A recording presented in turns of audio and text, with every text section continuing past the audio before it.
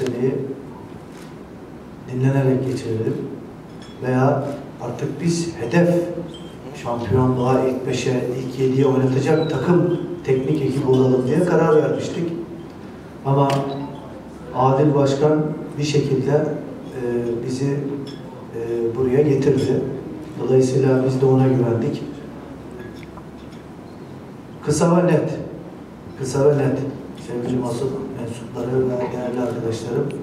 Demin dışarıda otururken taraftarlarımızdan bir arkadaşımız Hocam dedi depremi atlattık ama Malatya Spor'un tek sevgimiz Malatya Spor. Bu şehrin hayat kaynağı Malatya Spor. Bulunduğumuz bu durumdan ne olur? Kurtulalım. Dolayısıyla bu çok önemli bir cümle, başlık bir cümle.